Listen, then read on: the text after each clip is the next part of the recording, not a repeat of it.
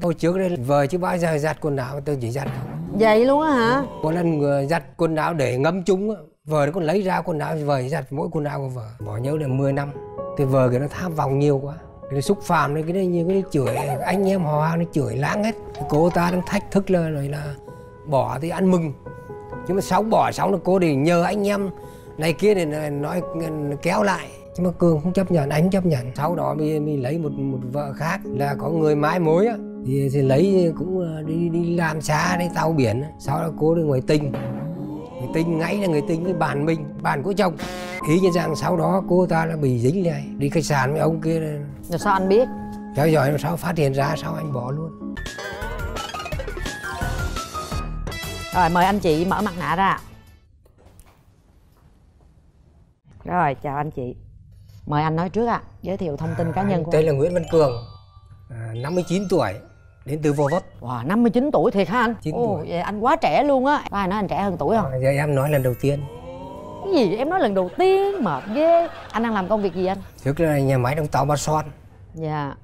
Sau đây đi tàu biển tàu biển dương nước ngoài. Nghỉ hưu rồi. Rồi à, hiện tại anh đang sống với ai?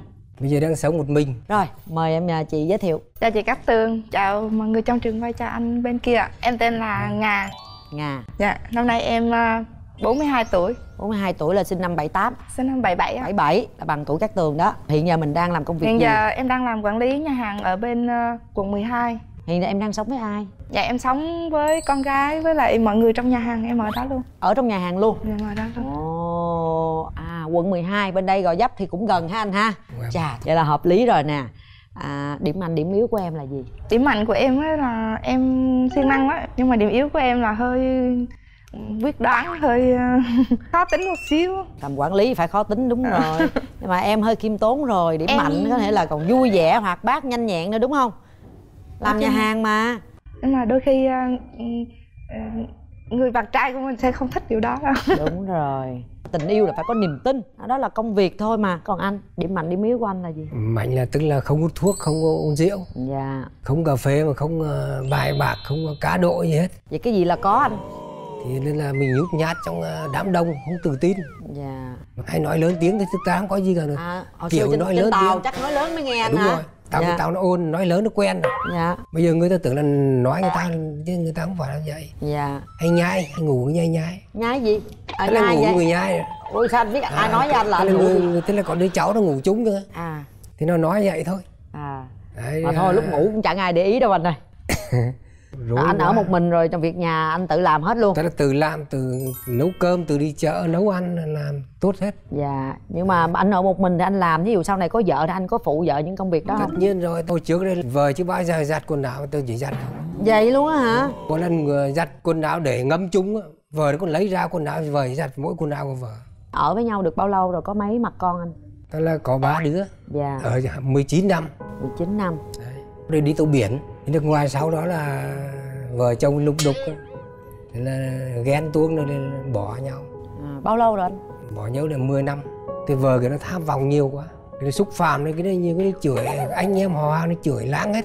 Nhưng mà sống với nhau 19 năm thì phải 19 hiểu năm. nhau chứ anh cũng phải những cái, cái tính tình người ta thay đổi không biết thì sao chả à hiểu. có nghĩa là sau mới thay đổi sau đầu thay đổi. Thì cùng nói ngồi nói với nhau thì nói là bây giờ nếu không thay đổi tính là bỏ. Cô ta đang thách thức là rồi là bỏ thì ăn mừng nhưng mà sau bỏ xong là cô thì nhờ anh em này kia để nói kéo lại. Nhưng mà cường không chấp nhận anh không chấp nhận. Này bỏ rồi là rồi không chấp nhận. Hồi đó đi tàu biển thì người ta đâu biết mình là ai trong khu phố đâu. Sau từ đó đi ra làm ngoài dân phố thì nó mới hiểu được. Ba đứa nhỏ là bao nhiêu tuổi? Thế là bây giờ là lớn đi học đại học ra trường rồi. Dạ. Rồi đi làm rồi. Còn sau đó mình, mình lấy một một vợ khác Là có người mái mối á. Thì, thì lấy cũng ờ, đi đi làm xa đi tàu biển Sau đó cô đi ngoài tình Người tình ngay là người tình với bạn mình Bạn của chồng. Đầu tiên thì nói là ông đó là Ông ấy tán gái giỏi lắm đấy. Thì cô không nghe con là bạn của anh. Ý như rằng sau đó cô ta là bị dính lại Đi khách sạn với ông kia. Rồi sao anh biết? Theo dõi làm sao phát hiện ra sao anh bỏ luôn? 4 năm năm. Mà cái, cái cô vợ đó là cũng có kết hôn đàng hoàng đó. Kết hôn vợ nào kết hôn đàng hoàng hết. Mình lấy cái đàng hoàng công nhận của pháp luật đàng hoàng. Sau đó cũng lý gì là là cũng có đơn ra tòa là đàng hoàng. Dạ chứ mình phải lấy. Mà cô sau thì mình ở được bao lâu? Cô sáu thì ở được 3 năm. Có con không anh? Có một đứa con gái 8 tuổi. Bây giờ cũng ở với cũng cổ ở với luôn mẹ. Dạ. Dạ. rồi suốt 5 năm nay thì lại không kho- chưa? Không sau đó cũng có có quen một cô nhưng mà cô này thì cô thì khi quen thì cô này, này yêu thôi. Thì cô không lấy thì không chấp nhận. Có nghĩa là anh là quen nhau yêu nhau là phải lấy nhau. Dạ, yêu nhau là phải lấy không yêu thì Dạ. thôi. Dạ. Thì cô ta muốn yêu chứ không muốn lấy. Bây giờ cũng cắt đến khoảng 2 năm nay rồi rồi hiện giờ là trống trống trơn chưa? Vậy bây giờ là gọi là lính phòng không. Lính phòng không. Dạ yêu là cũng phải lấy luôn đúng không? yêu là lấy không yêu thì thôi. Dạ. Yêu chân chính đàng hoàng. Dạ chân thật chứ không có chân giả. không dạ. có chân giả. Rồi còn mình thì sao ạ? Em ly dị à, cũng 13 năm rồi. 13 năm. Ừ, trước đây có- thì em có nuôi một à, bé trai con trai em bây giờ nó cũng lớn rồi. Em ở lâm đồng không phải là dân ở dưới này. Ừ, vì con gái em vào đại học ấy nên là muốn ở chung hai mẹ con ở chung với nhau ấy nên em chuyển xuống đây để vậy là sinh mình có sống. hai cháu. Có hai cháu. Còn bé trai thì vẫn ở trên bé lâm đồng. trai của em lớn lắm rồi và nên nó tự lo được ở nhà làm rẫy rồi này nọ rồi. Ở lâm đồng một mình? Có ngoại gia đình em ở trên đó hết mà. Ừ. là dưới đây hai mẹ con là ở trong cái chỗ của em làm luôn là con chỗ em học. làm cũng là anh em á. tại sao mối tình đó mình lại chia tay? Ừ, Ờ, hai mặt con. có lẽ là do thời đó em còn nhỏ mình chưa được chỉnh chu á mà gia đình thì là người bắc á có nhiều cái phong tục với lại có nhiều cái mình không thể nào nói chung là ừm, là làm dâu hả? đó là làm làm dâu. nên không được. Ừ. mà hai vợ chồng ở với nhau được bao lâu? Ừm, 6 năm vậy đó bây giờ có còn gặp lại anh đó anh có gia đình Ừ. mới hết rồi chứ đúng không? có gia đình mới nhưng mà cũng ít khi gặp lắm. Mà có có gặp cũng không liên quan gì. Suốt mười mấy năm qua thì mình có mối tình nào khác nữa không? Ừm, có. Cách đây cũng lâu rồi có quen một người ở sài gòn nhưng mà cũng vì khoảng cách địa lý hay là nói chung là nhiều vấn đề ừm, em nặng gia đình á. Còn con cái chưa có lớn á chưa có nghĩ cho bản thân em. Cho tới bây giờ thì con cái em cũng lớn em đang muốn nghĩ tới cho mình một xíu. Nhưng mà bây giờ yêu có lấy không? Yêu thì lấy. Yêu là lấy đúng không? Dạ. tại vì quan điểm anh bên này cũng rất là rõ ràng yêu là phải lấy. Chứ còn ờ, gọi là hãy cứ là tình nhân thì anh không chịu. Đó. Em thì cũng muốn có một người sống với mình nghiêm túc mà sống phải ờ, lâu dài. Ừm, quan điểm của em là muốn lấy một người chủ yếu là để già có người mà cùng ăn cơm cùng chia sẻ cùng ờ, có nghĩa là đi dạo hay là bắt trước một cái gì đó thôi. Chứ còn không phải là để nương tựa. Tại vì quan điểm của em không muốn nương tựa vào bất cứ ai cả. Đúng rồi để hữu hỷ lúc tuổi Đúng già. rồi. công việc của cô này thì hồi nãy anh cũng nghe cô nói rồi đó. Cô đang làm trong môi trường nhà hàng thì chắc chắn sẽ có tiếp xúc nhiều người đi ra đi vào. Trai có gái có. Thế thì về quan điểm về à, để vợ đi làm hoặc là về à, những quan hệ xã hội thì anh có cái suy nghĩ như thế nào? Nói chung là con gái mà làm bất cứ chỗ nào cũng vậy thôi. Quan trọng cái, cái bản chất con người đấy. Mà mình làm ở đâu vậy thôi mà quan trọng cái, cái tâm của mình. Dạ. Đứng đắn hay không dạ. là quan trọng nhất. Giờ giấc làm việc em sao em? Thường xuyên về trễ lắm ừ. đến 11 giờ em mới dứt tại vì em còn quản lý cả doanh thu này nọ. Ừ. nên phải chốt được tiền xong em mới Ừ. dừng à, nhưng mà việc. từ sáng luôn hay là từ chiều thường là ừm, sáng 10 giờ là em có mặt rồi để chuẩn bị mọi thứ nói chung mà hiện giờ thì em sống đó giống như một dạng- giống như là ở nhà của em vậy luôn thôi rồi còn Dạ. nếu trường hợp mình từ chỗ khác tới Đúng làm rồi. thì cái giờ giấc là như vậy đúng không anh có đồng ý để cổ tiếp tục cái công việc của cổ hay không Không dụ là phải làm 12 việc giờ đêm là cổ sống mới phải về làm việc mà dạ không quan trọng việc gì hết cả mà mình phải biết giữ bản thân mình. Vậy là cơ bản là em thấy cũng ờ, thoải mái rồi đó. Rồi em muốn tìm một ờ, người ờ, bạn đời một người bạn đồng hành với mình trong tương lai là người như thế nào? Em không cần người đó phải cho em cuộc sống giàu sang sung sướng hay là gì hết. Em chỉ cần người đó là thật lòng và thật tâm thôi. Nếu mà người mình có được hai chữ đó thì cái gì mình cũng có thể tha thứ hay có thể mình vượt qua được hết. Đây em có thể nhìn tìm thấy ảnh trong này thử xem một anh à, 59 tuổi hả? Thế còn anh thì anh mong muốn tìm một người à, bạn đời của mình như thế nào? Thì thấy hồi này phải cao thì uh, mét năm năm trở lên thôi. Không mập quá đừng ốm quá. Khỏe mạnh là được. Khỏe mạnh đấy, trắng trẻo tí được. Tức là không phải cần phải đẹp lắm miễn là nhìn được. Chứ ước gì như thế thì không cần phải đẹp nữa. Của mình cũng lớn rồi. Nãy giờ qua trò chuyện anh hình dung cô này như thế nào anh tưởng tượng cái miêu tả em nghe coi. vậy mới khó mới đố anh chứ. Khó quá. Giờ anh nhắm cổ cao khoảng nhiêu? Chắc cũng uh, phải năm năm mươi năm lăm gì đấy thôi. Mập hay ốm? Tức là cũng hơi hơi hơi mập mập tí xíu. Lý do tại sao anh đoán cô hơi mập mập? Thì đó là làm nhà hàng chắc nghĩ cũng không à rồi. À, tóc dài hay tóc ngắn? Cổ ăn mặc như thế nào? Chắc cái mắt đầm mà anh cũng thích con gái mắt đầm. Ừ. chứ không thích con gái mặc quần tây đâu. À, sao vậy? Thích con gái mặc đầm. Nó, nhìn nó đúng phụ nữ à đúng nó, gọi là nó, nó mềm mạt. Còn là nó, nó quần tây nó cũng khô hơi khá cứng ha. cứng nó không thích. Rồi tóc dài hay tóc ngắn? Tóc chắc cũng uh, ngang vai thôi. Trời hay quá ha. Đen hay trắng? Tóc chắc hơi uh, nhuộm uh, hạt rẻ. Không không à rồi, rồi da da đen hay da trắng? Da cũng uh, không đen mà cũng không trắng hơi bình thường. Mắt mũi miệng? À, mắt thì hơi khó chứ nãy giờ em thấy anh đoán là cũng tương đối là trúng hết rồi đó. Anh hay quá kinh nghiệm sống gừng càng già càng cay nha. Không có đâu. Nhát gái làm gì có mà cái... nhát gái nhưng mà cũng đâu hai mối gái tình đâu. rồi. Rồi em không có đoán ra gái. được à, đoán ra được ảnh không? Em cảm nhận thử coi. Em chỉ nghĩ là mời hai anh chị sẽ nhìn nhau ở cái nhìn đầu tiên và sẽ nói cho nhau nghe cái cảm xúc của mình như thế nào ha chào em có được gặp em thì à, cũng à, tặng em bó bông. Em cũng tặng anh cái này. Rồi cảm ơn nhé. Dạ. trước tiên là hỏi anh trước ha. Thế có giống như những gì anh tưởng tượng nãy giờ không ạ? Được bao nhiêu phần không nói trăm? chung là anh nhìn thấy thì cũng đạt yêu cầu. Những em bên ngoài thì anh nhìn cảm thấy được được. Khi mở cửa trái, trái, tim này ra thì trong lòng anh có cái cảm xúc gì không ạ? Vui thằng cảm thấy rất vui. Thế còn em em cũng không biết cảm xúc như thế nào. Nhìn thấy ảnh thì em có không thì em cứ nói thẳng coi nhìn anh như thế em thấy nào anh trẻ hơn tuổi so với tuổi anh nói. Vậy là không phải em nịnh anh nha. Anh- rõ ràng 59 tuổi là trẻ đúng không em? Cỡ chừng năm ba năm bốn là em tối đa. thấy ở trong hình anh xấu hơn ngoài. đúng rồi anh không ăn ảnh. Bây giờ tường sẽ mời hai anh chị sẽ thưởng thức những món ăn ngon của nhà hàng dậu hậu food rồi chúng ta sẽ có thời gian riêng để tâm sự với nhau ha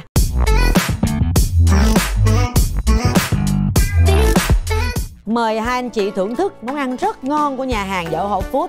Tôm càng rang tỏi nè, heo quay da giòn nè, đậu que xào nấm linh chi Và cơm chiên gạo lứt thịt cua tay cầm. Ồ thơm phức luôn nha. Trình bày rất đẹp mắt và đảm bảo ăn rất ngon miệng. Bây giờ anh chị vừa ăn cơm vừa tâm sự với nhau. À, Một chút xíu nữa Tường sẽ quay trở lại nha. Rồi, cảm ơn uh, Dạ. tướng nhé Chúc hai anh chị ngon miệng. Thôi à, mời em ăn còn đói bụng nhà em ở lâm đồng mà em ở um, cách Bảo Lộc 10 km. Bảo lộc anh cũng đi rồi. Còn anh quê thì quê gốc ở người nghệ an. Anh vào đây lâu chưa vào được 40 năm rồi. Nhà em uh, vào Lâm Đồng được 30 năm. Nhưng em quê đâu? Gốc ở đâu? Quảng Ngãi. À còn ngại còn ngại cũng miền trung mà. Dạ 8, 8 tuổi là em vào Lâm Đồng. Thì bây giờ anh hoàn cảnh như thế thì em ờ, nghĩ thế nào? Trong lúc này em chưa biết nghĩ thế nào Nếu mà thời gian hẹn hò thì em hè thời gian được thế nào? Thật ra em rất là ít thời gian luôn á. Thời gian Ừm. ít cũng phải có thời gian như Đa sao? phần là em dành cho công việc. Có khi có ngày em không bước ra khỏi cửa luôn. Nói cho vậy chứ mình phải đi ra ngoài xã hội chút xíu chứ. Xuống đây lạ môi trường á. Anh còn ba mẹ không? mẹ anh mới mất mới mất được một năm rồi mẹ anh là sống mà 92 tuổi. Còn bố thì mất lâu Em thì chỉ có mẹ thôi mẹ còn khỏe nữa Mẹ em ờ, 67 tuổi. Phải đứng trẻ mà Ừ, Nhìn mẹ em già lắm, không được trẻ như anh. Mẹ em còn gái khác anh con trai khác ấy. trai bao giờ nó trẻ hơn lâu hơn con gái. Con gái vất vả hơn. Chung là mình đến đây là có cái duyên rồi bây giờ mình cho nhau cơ hội. Thấy chưa? Còn sau này thì để tìm hiểu nữa chứ. Em thì nhiều khi có cơ hội cũng là điều tốt Và có khi chưa chắc đó là điều tốt. Thôi em cứ im lặng chẳng nói gì. Anh thích một người phụ nữ như thế nào? anh thấy em là anh được rồi anh thấy em là anh chấm rồi. Không, đó là rồi. anh nhìn bề ngoài thôi chứ chưa chắc bên trong. Thì, thì, thì nói, Ví dụ như anh, tính cách anh thích một người- bây giờ bề ngoài thì anh nhìn như vậy là, chấm rồi anh Ví chấm dụ rồi. như anh thích một người phải biết nội trợ Phải không nồi chờ thì anh biết nấu mà em nhà hàng thì chắc em không biết nấu. Em nhà hàng nha, vào bếp nấu cho em ăn không nhưng mà anh nấu cái gì anh nấu được đồ ăn ngon mà anh? À, ăn ngon. Dạ, đồ ăn này là ngon lắm nhà hàng này là ngon lắm em ăn ở đây là em ghiền luôn đó.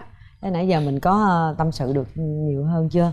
Thí dụ bây giờ mà hẹn hò nhau thì anh chị sẽ hẹn hò cái thời gian như thế nào? Cho bên bên bên nữ thôi bên nữ là sao bây giờ giờ cổ làm việc vậy đó thì Ờ, đó rồi bên nữ giờ- cho bên bên này thì lúc nào cũng rồi bất kể cái làm việc mà nói bận công việc nghỉ cũng được Dạ, Thì có thể cũng hẹn đã. buổi trưa Từ 3 giờ, 5 giờ em có thể rảnh dụ. trưa uống cà phê được không anh kể em 11 Buổi cho đến sáng. rồi anh tới anh cũng tới nữa. Buổi sáng từ từ 7 giờ sáng cho tới ờ, 10 giờ trưa em còn rảnh mà ờ có nghĩa là sáng dậy ăn sáng uống cà phê xong rồi công việc ai nấy làm trưa trưa rảnh thì mình hẹn ăn cơm trưa cà phê nói chung là anh hẹn lúc nào anh cũng có mặt. 12 giờ đêm em đói bụng quá em muốn ăn 12 khuya giờ 1 giờ đêm tức là em gọi anh lên anh cũng đến ta mở hết rồi còn gì nữa đúng không nè? Anh thì mong người con gái sống như dạng gì. Anh ghét nhất những người nào mà bảo thủ. Bảo thủ là sao anh? Bảo thủ tức là mình không chịu nhận sai của mình là bảo thủ. Mình sai mà cứ cố cãi là À. bảo thủ. Tại vì em thấy cái đúng cái sai là do mỗi mỗi người nhìn nhận cái vấn đề Thì theo đó. ý của mỗi người cho nên là có thể cái bảo thủ hoặc là cái ờ, lập trường hai cái đó nó gần giống nhau đúng không? Không lập trường vì anh cũng đảm bảo anh mình nhiều khi anh không đảm bảo mà anh vẫn cứ cố cãi là anh bảo thủ. Tức là mình sai cái gì mình phải nhận. Tức là anh sai cái gì em phải nói thẳng anh thích. Chứ em cứ im lặng anh không thích nói thẳng để anh sửa đổi. Điều này nó đúng mà nó cũng không đúng. Giờ thời buổi nó nó mệt mỏi áp lực Đúng công rồi. việc. Mà nếu bây giờ mình cứ im im im im thì đối phương cũng chẳng biết đâu mà lần. Đôi lúc cũng phải có những cái góp ý thẳng thắn để mới người ta nếu mà người mình góp ý mà người ta không sửa thì cái đó là người ta không có sự chân thành. Nếu mình im mình không nói mà mình mình muốn người ta hiểu mình thì cũng khó. Thì đó phải nói đó. Dạ, tức là phải nhưng- nói. nhưng ngược lại phụ nữ nó cũng có những cái rất là khó nói rất là tế nhị thì mình cũng phải là nhạy cảm. Nếu mình yêu thương nhau thì mình cũng phải nhạy một chút. Đủ tinh tế đủ sâu tinh tế để mình hiểu. ví dụ như mình thấy vì hiểu nhau Dạ. và thông cảm với nhau. Nhiều khi đừng đừng có chấp vặt. Mà mình hay chấp là hay đi đổ vỡ em thì sống ở Đà Lạt cũng khá lâu cho nên là cái bản chất của em nó hơi trầm một xíu. Có nghĩa là em không được sôi nổi như người Sài Gòn. Thì anh cũng ờ, trầm tính mà. Bình thường ở nhà không nói gì đâu im lặng chả bao giờ nói câu. Ai hỏi thì nói chứ mình đi, ra mình cần nói là mình phải nói còn nếu mình không cần thì thôi. Em còn à, một mẹ già một con nhỏ không biết anh có đủ rộng lượng để mà cùng em không cùng em ai lo cho mẹ hai người ai cũng có mẹ già cả. Tức là ai có mình thì phải có mẹ già đúng không?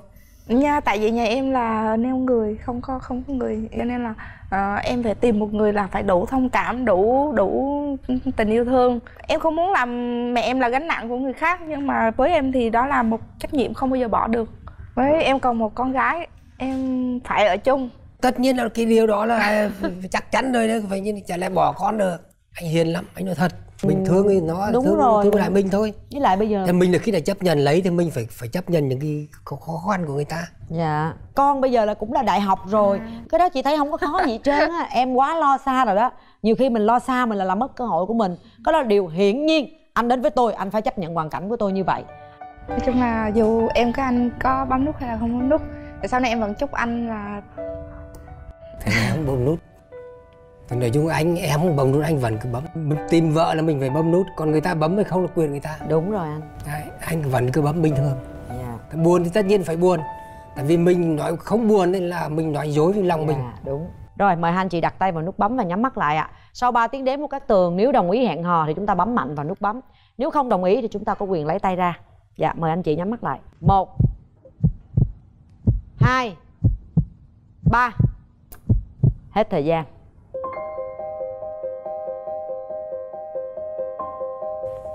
Em vẫn cương quyết không bấm.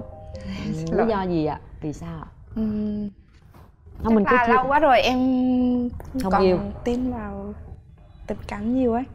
Nên là em sợ mình phải có trách nhiệm với cái điều bây giờ mình phải làm ấy em xin lỗi không phải đó là em tùy không em thôi. em không chê anh một cái gì hết bởi vì em với em anh anh rất là trong mắt em anh hình thức hay là cách nói chuyện rất là ngay thẳng và rất là dễ thương.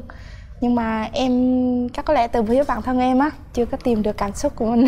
Đúng rồi tường rất là buồn vì không có mai mối được cho hai anh chị. Nhưng mà cái cảm xúc thì khó nói lắm á tại vì nó nó không chạm được nhau thì tường cũng chịu thôi. À, tường thay mặt chương trình gửi đến à, cho mình một cái phần quà. Phần quà dành cho em là bộ son Yurika đến từ Nhật Bản với chất son lì không chì mang nhiều màu sắc trẻ trung phù hợp với mọi cá tính sẽ giúp cho bạn tự tin nổi bật trong mọi ánh nhìn. Đừng có nghĩ nhiều quá phải mở rộng lòng mình ra. Đôi lúc mới ở cái nhìn đầu tiên thì không có rung động được đâu.